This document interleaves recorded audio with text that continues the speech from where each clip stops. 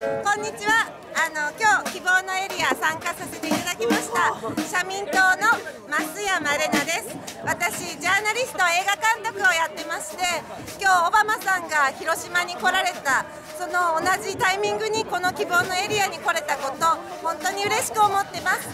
実はアメリカで今日折り鶴の少女貞子さんのご遺族がトルーマン大統領のお孫さんにあの鶴を寄贈してこの白血病で原爆になった原爆の被害で白血病になった折り鶴の少女の貞子さんご遺族が平和のメッセージを折り鶴に託して今アメリカに行っています。日米との関係今までは原爆を落とされて沖縄の基地そして日本中の基地その中で暴力があったりアメリカの戦争に日本がお金を出して加担するという関係でした。でも私ここからオバマさんが今日献花をくれたこの日から日米同盟もっといい形で進めていきたいなって思ってるんです。もちろん原爆を落とされたことに悔しさたくさんあります。その思いで今まで絵本や映画を作ってきました。でも憎しみではなくてお互いよりいい社会を作っていこう。とそんな思いでアメリカといい関係本当の核廃絶に向けて日本が世界のリーダーシップを取るように進めていきたい。